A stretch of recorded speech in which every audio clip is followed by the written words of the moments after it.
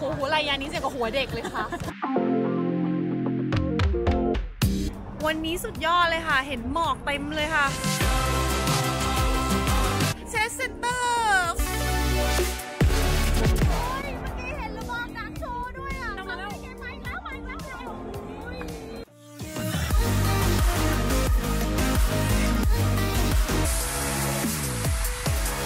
จะเป็นล วันนี้เราอยู่ที่ Citadel Outlet ครับ เตรียมพบกับทริปใหม่นะคะ ในช่วงเดือนพฤศจิกายนค่ะ มีทั้งฝั่งตะวันออกแล้วก็ฝั่งตะวันตกเลยนะคะ แต่ช่วงนี้ค่ะ แนะนำให้ทำวีซ่าก่อนเลยเพราะว่าคิวยาวมากๆเลยค่ะ สนใจทำวีซ่าค่ะ add Line ขอรายละเอียดได้เลยค่ะ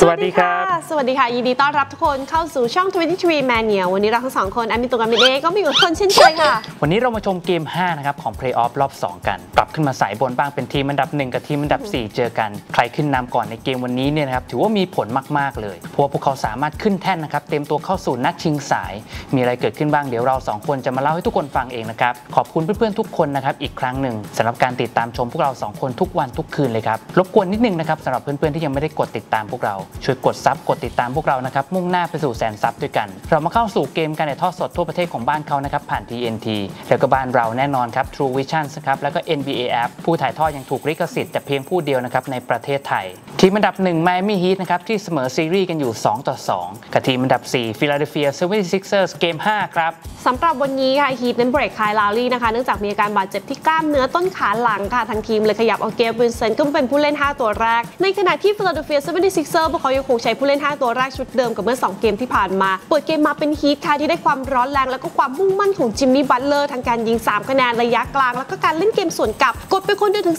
11 แต้มร่วมกับการยิงวงนอกของ Max Strus ทำให้ Heat เนี่ยขึ้นนำสองหลักแต่หัววัน ในขณะที่ Sixers ค่ะเกมบุกของเขาเนี่ยตื้อนะคะมีเพียงแค่ Joel Embiid James Harden ค่ะ แล้วก็ Tobias Harris ที่ทำแต้มได้ ถึงแม้ว่าเกมบุกของ Sixers จะเริ่มดีขึ้นในช่วง quarter ที่ 2 นะคะ คนอื่นในทีมเนี่ย ช่วยในการเล่นเกมรับการ rebound ค่ะ แล้วก็เกมบุก แต่วันนี้ Heat สิคะร้อนแรงสมชื่อทีมจริงๆ ไม่ว่าจะเป็นการยิงวงนอกยิงวงในยิงระยะกลางพวกเขาทำได้ดีกว่ามากเลยค่ะจบครึ่งแรกเป็น Heat นะคะที่นำกว่า 12 แต้มพอเข้าสู่ครึ่งหลังเกมบุกแล้วก็เกมรับของ Miami Heat เนี่ยยังคงดีอย่างต่อเนื่องบางช่วงนำห่างอยู่กว่า 20 แต้ม Sixers นะคะไม่ยิงพลาดเองก็ turnover ค่ะ Joel Embiid วันนี้ไม่ร้อนแรง แล้วพวกเราเนี่ยก็ไม่ได้เห็น James Harden ในร่างทองของ Houston Rockets แบบนี้ก็ลำบากเลยค่ะ พอเข้าสู่ควอเตอร์สุดท้ายนะคะ Heat เดินลงมาแล้วก็ยิงแบบโป้งโป้งโป้งเลยค่ะ run 12 ต่อ 0นำห่างไปกว่า 30 แต้ม Sixers จะไล่อย่างไรเนี่ยก็ไม่ไหวค่ะเกมวันนี้นี่สู้กันไม่ได้เลย และผลงานของผู้เล่นในทีม Philadelphia 76ers ได้ Joel Embiid 17 แต้ม 5 rebound 2 assist เห็น Embiid วันนี้แล้วสงสารเลยนะคะพยายามต่อสู้น่าดูเลยค่ะ James Harden 14 แต้ม 6 rebound 4 assist วันนี้ก็หายไปเลยนะคะ Miami Heat ได้ Jimmy Butler 23 แต้ม 9 rebound 6 assist สบาย ๆ เลยค่ะ ร้อนแรงเหลือเกิน Max Strus 19 แต้ม 10 rebound เป็น double double ยิง 3 ไปอีก 4 ลูก จบเกม Miami Heat ถล่ม Philadelphia 76ers 120 ต่อ 85คืนนำซีรีส์ 3 สำหรับ Sixers นะครับอย่างที่ทุกคนทราบกันดีว่าตอนนี้เนี่ยทาง NBA เขาเตรียมตัวที่จะประกาศให้กับ Nikola Jokic เป็นผู้เล่นทรงคุณค่ายอดเยี่ยมหรือว่า MVP ของฤดูกาลนี้นะครับจะมีการประกาศอย่างเป็นทางการภายในอาทิตย์นี้เนี่ยแหละครับแน่นอนมันก็สร้างความเซ็งให้กับ Joel Embiid มากๆนะครับเพราะว่าตัวของเขาเนี่ยมีฤดูกาลที่ยอดเยี่ยมเหลือเกินไม่ว่าจะเป็นราชาการทำแต้มนะครับแบกทีมทุกอย่างนะครับไม่ว่าจะเป็นการเล่นวงในการเล่นวงนอกทุกอย่างดูดีไปหมดเลย แต่สุดท้ายเขาก็พลาดไป แต่ก็ต้องยอมรับจริงๆนะครับว่า Nikola Jokic เขาก็เหมาะสมอย่างยิ่งเช่นเดียวกัน สร้างความเซ็งให้กับเพื่อนๆร่วมทีม สร้างความเซ็งให้หัวหน้าโค้ชของพวกเขาอย่าง Doc Rivers แน่นอนเช่นเดียวกันครับ และพอเข้าสู่เกมการแข่งขันในวันนี้เนี่ยเปิดเกมมาเนี่ยเราก็เห็นกันชัดเจนเลยนะครับว่าเกมของ Sixers เนี่ยไม่ดีเลยโดยเฉพาะการเล่นเกมบุก ในช่วงต้นเกมเนี่ยเราเห็นกันชัดเจนว่าทางทีม Sixers ไม่สามารถที่จะป้อนลูกบาสเนี่ยเข้าไปสู่มือของ Joel Embiid ได้ในวงใน มันก็เลยยิ่งทำให้ Joel Embiid เนี่ยเล่นยากมากขึ้นเรื่อยๆมากขึ้นเรื่อยๆเลยนะครับพอเกมดำเนินต่อไปเนี่ยดูพลังในการต่อสู้ไฟในการต่อสู้ความทุ่มเทในการเล่นของ Sixers เนี่ยเป็นรอง Miami Heat อย่างชัดเจน มีอยู่จังหวะหนึ่งเนี่ยนะครับ Dewayne Dedmon ของ Miami Heat เนี่ยพยายามจะแย่ง rebound กัน และทันใดนั้นเองลูกบาสมีจังหวะไปกระแทกหน้าของ Joel Embiid นะครับลงไปนอนดิ้นเลย ตัวของเขาเนี่ยเจ็บปวดมากๆนะครับอาการบาดเจ็บที่บริเวณรอบๆเบ้าตาเนี่ยมันยังคงส่งผลกับการเล่นแน่นอน แม้ว่าในเกมวันนี้เนี่ยหลายต่อหลายคนนะครับมีการพูดถึงผลงานของ Joel Embiid ในวันนี้ว่าการเล่นของเขาเนี่ยดูไม่มีพลัง ดูไม่มีไฟดูแบบไม่อยากเล่นเลย ไม่แน่ใจว่าการที่เขาไม่สามารถคว้ารางวัลผู้เล่นทรงคุณค่ายอดเยี่ยมหรือว่า MVP มาครองได้เนี่ยมันส่งผลกับสภาพจิตใจของตัวเขาหรือเปล่า ส่วนตัวแอดมินก็มองแบบนี้นะครับว่าแน่นอนครับยังไงเจ้าตัวนี้ก็ต้องเซ็ง แต่ถามว่าจะมีผลกับการเล่นขนาดนี้หรือเปล่าเนี่ยส่วนตัวคิดว่าไม่น่าจะมีมากขนาดนั้นนะครับถ้าเกิดเทียบกับการบาดเจ็บที่เขาต้องเผชิญอยู่ณเวลานี้ ดังนั้นเพื่อนๆแฟนบาสที่ชมเกมอยู่เนี่ยน่าจะต้องเห็นใจนะครับแล้วก็ยกย่องหัวใจของ Joel Embiid ในการต่อสู้ ตัวของเขาเนี่ยเต็มไปด้วยอาการบาดเจ็บเลยนะครับไม่ว่าจะเป็นที่นิ้วไม่ว่าจะเป็นที่หน้าหรือว่าอะไรก็แล้วแต่ ทุกครั้งที่เกมการแข่งขันเบรกลงเนี่ยนะครับไม่ว่าจะเป็นการขอเวลานอกหรือมีการตัดฟาวล์เราจะเห็นเลยว่า Joel Embiid เนี่ยถอดหน้ากากพยายามเช็ดเหงื่อพยายามเช็ดหน้าตลอดเวลาเลย เรียกว่าตัวของเขาไม่มีความคล่องเลยนะครับในการเล่นโดยที่มีหน้ากากอยู่บนใบหน้าแบบนี้ การเล่นของ Joel Embiid ไม่เป็นไปตามที่แฟนๆคาดหวังนะครับยังไม่น่าผิดหวังเท่ากับผลงานของ James Harden ที่แฟนๆต่างก็เฝ้ารอนะครับว่าเออเราเห็นเกมที่ดีมากๆเลยของ James Harden ในเกมที่ผ่านมา ตัวของเขาน่าจะมีความมั่นใจนะแล้วก็เล่นได้ดีอย่างต่อเนื่อง แต่มันไม่ใช่แบบนั้นครับมันเป็นเพียงแค่ความฝันเพราะว่าแฟนๆเนี่ยแทบจะลืมเลยนะครับว่าวันนี้ทีมของพวกเขาเนี่ยมีการ trade James Harden เข้ามาร่วมทีม การยิง 3 คะแนนก็ไม่มีประสิทธิภาพการข้างเข้าไปทำแต้มก็ดูไม่มีอะไรเลี้ยงๆอยู่เดี๋ยวก็ผิดพลาดกลายเป็น turnover ไปครับท่าไม้ตายต่างๆ วันนี้ก็ใช้ไม่ได้เลยนะครับไม่ว่าจะเป็นพลังเคราเนื้อทอง step back ลอดขาพาเพลินอะไรก็แล้วแต่ทุกอย่างของ James Harden เนี่ยหายไปอีกครั้งหนึ่งครับวันนี้ถือว่าเป็นเกมที่ 32 ติดต่อกันแล้วนะครับในยูนิฟอร์มของ Sixers ที่ตัวของเขาไม่มีการพยายามยิง field goal ถึง 20 ครั้งได้ การทำระดับ 25 แต้มไม่ต้องไปพูดถึงครับเพราะว่าวันนี้เนี่ยยังไม่ถึง 15 แต้มด้วยซ้ำไป ไปไปมามาแต้มเนี่ยน้อยกว่า Gabe Vincent นะครับผู้เล่นที่ไม่ผ่านการ draft ของ Miami Heat การ์ดสำรองที่ขึ้นมาเป็นตัวจริงแทน Kyle Lowry นะครับการเล่นวันนี้ของ James Harden เนี่ยเล่นเหมือนแบบให้มันจบๆไปครับเกมนี้เมื่อไหร่มันจะจบอะไรแบบนั้น กลายเป็นน่าเสียดายแทนแฟนๆของ Sixers มากๆนะครับเพราะว่าพวกเขาเนี่ยกำลังมีความหวังในซีรีส์นี้เนี่ยเหมือนว่าโมเมนตัมหลายต่อหลายอย่างจะเปลี่ยนไปเพราะว่า Sixers เพิ่งเอาชนะมาได้ 2 เกมติด แต่วันนี้มันไม่ใช่แบบนั้นเลยครับพอ2ซูเปอร์สตาร์ของทีมเล่นโดยที่ไม่มีพลังเล่นแบบไม่มีไฟเนี่ยคนอื่นๆในทีมก็ลำบากเลยนะครับเราเห็นกันชัดเจนเลยอย่าง Tyrese Maxey ที่จริง ๆ แล้วตัวของเขาก็มีซีรีส์ที่ดีนะครับในการที่เจอกับ Miami Heat วันนี้เนี่ยยิงทิ้งยิงขว้างอย่างไม่น่าเชื่อเลยนะครับ ตัวของ Danny Green หรือว่าจะเป็น Tobias Harris ก็เช่นเดียวกัน การยิงการข้ามทุกอย่างดูแย่ไปหมดเลยนะครับ เชื่อเหลือเกินว่าเพื่อนๆที่ชมเกมอยู่เนี่ยก็จะรู้สึกคล้ายๆกับแอดมินนะครับว่าผู้เล่นตัวจริงทั้งหมดของ Sixers เนี่ยราวกับไม่เคยเล่นร่วมกันมาก่อน การส่งก็ผิดพลาดการยิงก็ไม่ดี สุดท้าย Doc Rivers เนี่ยต้องเอาตัวออกนะครับตั้งแต่ในช่วงต้นควอเตอร์ที่4เวลาการแข่งขันเนี่ยเหลืออีกก็ต้อง8 นาทีกว่าๆเพราะว่าเกมมันขาดเกินไปครับไม่มีประโยชน์ที่จะให้ตัวจริงเล่นอยู่ หลังจากจบเกมการแข่งขันเนี่ยนะครับตัวของ Doc Rivers หัวหน้าโค้ชของพวกเขาเนี่ยก็บอกเลยว่าเขามีการบ้านครับต้องศึกษาเทปคู่แข่งหรือไม่ก็เผาไปเลย เพราะว่าตัวของ Jimmy Butler ในซีรีส์นี้เนี่ยทุกอย่างดูง่ายไปหมดครับตัวของเขาเนี่ยไม่มีปัญหาในการเล่นเกมบุกเลยนะครับราวกับว่าการเล่นเกมรับของ Sixers เนี่ยมันไม่มีผลใดๆทั้งสิ้นในการเล่นซีรีส์นี้ของ Jimmy Butler เลยเขาจะต้องหาทางเบรกการเล่นที่ร้อนแรงของ Jimmy Butler ให้จงได้ ถ้าเกิดไม่สามารถทำได้เนี่ยดูแล้วฤดูกาลของ Sixers ก็น่าจะใกล้สิ้นสุดแล้วล่ะครับและการพ่ายแพ้ในวันนี้เนี่ยนะครับก็เลยทำให้ Sixers เป็นฝ่ายตามซีรีส์3ต่อ2ในประวัติศาสตร์ของ NBA นะครับการตามซีรีส์แบบ 3 ต่อ 2 แบบนี้เนี่ยเคยเกิดขึ้นทั้งหมด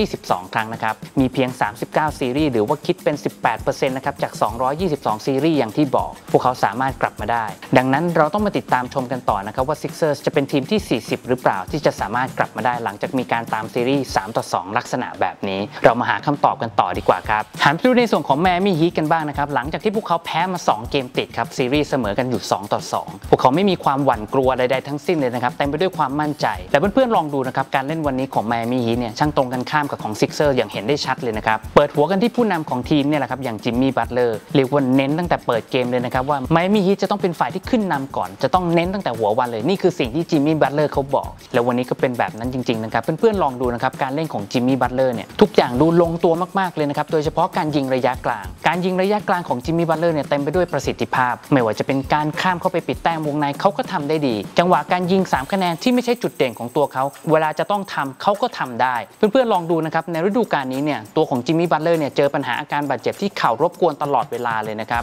เล่นไปเดี๋ยวก็ต้องเบรกเล่นไปเดี๋ยวก็ต้องเบรกเบรกไป 4 เกมบ้าง 3 เกมบ้างแล้ว แต่พอกลับมาเจอปัญหาเรื่องโควิดอีกครับตลอดเวลาเลยครับในฤดูกาลนี้ แต่พอเข้าสู่เพลย์ออฟเนี่ยเราเห็นกันชัดเจนเลยนะครับไม่ว่าจะเป็นภาวะความเป็นผู้นำสภาพร่างกายความฟิตต่างๆ พอเห็นแว็บหนึ่งเนี่ยนึกถึงตอนจิมมี่บัตเลอร์ที่อยู่ใน bubble นะครับเขานำทีมไมอามี่ฮีทเข้าสู่ NBA Finals ร่างตอนนั้นของจิมมี่บัตเลอร์เนี่ยเริ่มกลับมาให้พวกเราเห็นอีกครั้งหนึ่งแล้วนะครับในการแข่งขันเพลย์ออฟปีนี้ และเพื่อนๆลองดูนะครับไม่ใช่ดีแต่การเล่นเกมรุกอย่างเดียวนะครับการเล่นเกมรับเนี่ยก็ไม่มีตกหล่นหายไปไหนเลย ช่วยทั้งเกมป้องกันช่วยทั้งขโมย ช่วยทั้งการบล็อกช่วยทั้ง rebound เรียกว่าดูดีมากๆเลยนะครับเพลย์ออฟปีนี้เนี่ยเขามีค่าเฉลี่ยอยู่ที่ 27 แต้ม 7 rebound กับ 6 assist ด้วยการยิง field goal ระดับ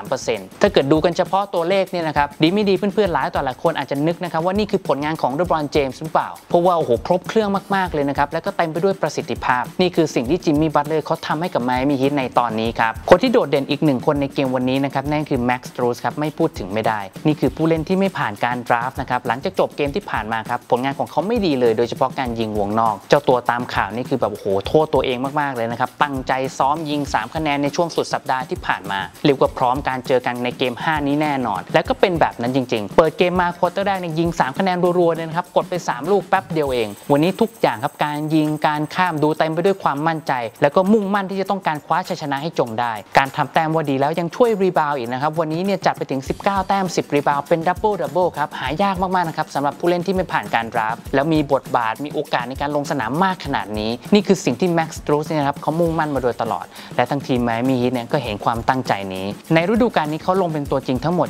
25 เกมนะครับผลงานของไมอามี่ฮีทเนี่ยชนะ 20 แพ้ 5 ถ้าเกิดรวมทั้งในฤดูกาลปกติแล้วก็เพลย์ออฟและพอมารวมกับเกมวันนี้นะครับถือว่าเป็นชัยชนะเกมที่ 21 ครับที่แม็กซ์สตรูสขึ้นมาเป็นผู้เล่นตัวจริง พอผู้นำของทีมเล่นได้ดีแบบนี้เนี่ยครับแล้วมีคนก้าวเสริมตามขึ้นมาปุ๊บเนี่ยคนที่เหลือก็เล่นสบายเลยนะครับไม่ว่าจะเป็นอย่างแบมอเดบาโยพีเจทักเกอร์นี่ก็เน้นเกมรับสบายๆเลย การยิงวงนอกก็มาต่อเนื่องกันทุกคนเลยนะครับทัพสำรองทีเด็ดทั้ง 2 คนอย่างไทเลอร์ฮีโร่หรือจะเป็นวิกเตอร์โอลาดิโปก็ยังคงทำบทบาทของตัวเองได้เป็นอย่างดีเพื่อนๆเชื่อไหมครับว่าในเกมวันนี้เนี่ยผู้เล่นของไมอามี่ฮีททั้งหมดถึง 7 คนเลยนะครับที่สามารถทำแต้มได้ถึง 2 หลักได้ และด้วยผลงานที่ยอดเยี่ยมขนาดนี้นะครับของพลพรรคไมอามี่ฮีทมันก็เลยทำให้เกมแข่งขันในวันนี้เนี่ยค่อนข้างห่างราวกับคนละชั้นจริงๆนะครับหลังจากจบเกมการแข่งขันเนี่ยก็มีการพูดถึงตำแหน่งหัวหน้าโค้ชยอดเยี่ยมแห่งปีเนี่ยนะครับในส่วนของหัวหน้าโค้ชไมอามี่ฮีทอย่างเอริกสโปเอลสตราเนี่ยเขาจบที่อันดับ3นะครับเป็นรองมอนตี้วิลเลียมที่คว้ารางวัลโค้ชยอดเยี่ยมแห่งปีไปครอง แล้วก็เป็นรองเทเลอร์เจนกินของเมมฟิสกริซลี่แล้วก็มาเป็นเอริกสโปเอลสตราเป็นอันดับ3เนี่ยแหละครับแต่แฟนๆไม่ต้องกังวลเลยนะครับแม้ว่าตัวของเอริกสโปเอลสตราเนี่ยเขาจะไม่เคยเลยสักครั้งเดียวนะครับที่จะสามารถคว้ารางวัลโค้ชยอดเยี่ยมแห่งปีมาครองได้ก็ตาม แต่ทาง NBA ครับประกาศให้ตัวของเอริกสโปเอลสตราเนี่ยถือว่าเป็น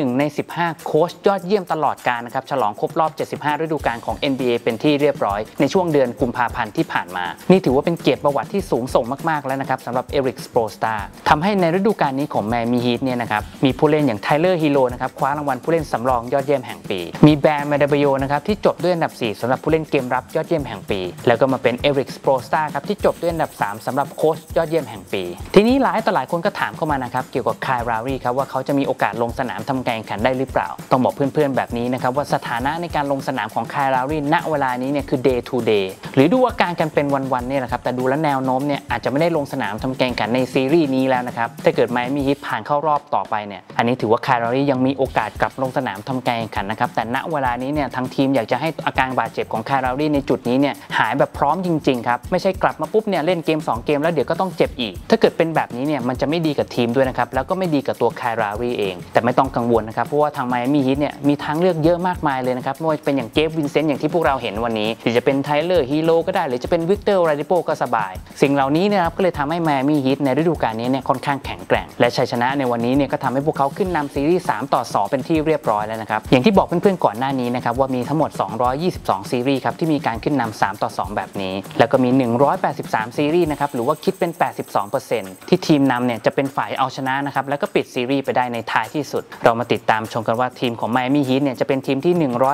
184 หรือเปล่านะครับที่จะสามารถทำได้ เรามาหาคำตอบกันนะครับในเกม 6 เช้าวันศุกร์นะครับ6โมงเช้าไมอามี่ฮีทจะสามารถปิดซีรีส์ได้หรือเปล่า มาติดตามชมกันดีกว่าครับสำหรับเกมวันนี้ค่ะไมอามี่ฮีทเนี่ยมาดีมาก แล้วก็มีความมุ่งมั่นตั้งใจแสดงให้เห็นเลยค่ะว่าพวกเขาต้องการชัยชนะมากกว่าสำหรับซิกเซอร์สิค่ะก็ต้องแก้ไขนะคะในเกมหน้าเพื่อโอกาสของทีมตัวเอง แล้วเพื่อนๆล่ะคะคิดอย่างไรบ้างคะเกมหน้าเนี่ยซิกเซอร์จะไหวไหมเพราะว่าดูแล้วเอ็มบีดวันนี้นี่โอ้โหน่าสงสารใช่ค่ะเพื่อนๆคิดอย่างไรบ้างคะคอมเมนต์มาคุยกับเราทั้งสองคนที่คอมเมนต์ด้านล่างเลยนะคะ ท้ายสุดนี้ค่ะไม่พลาดคอนเทนต์สนุกๆอย่าลืม subscribe นะคะที่โลโก้ 23 Mania ตรงกลางนี่เลยค่ะ เพราะ NBA คือจีเด่นของพวกเรา 23 Mania วันนี้พวกเราทั้งสองคนขอบคุณทุกคนมากนะคะขอบคุณค่ะขอบคุณครับ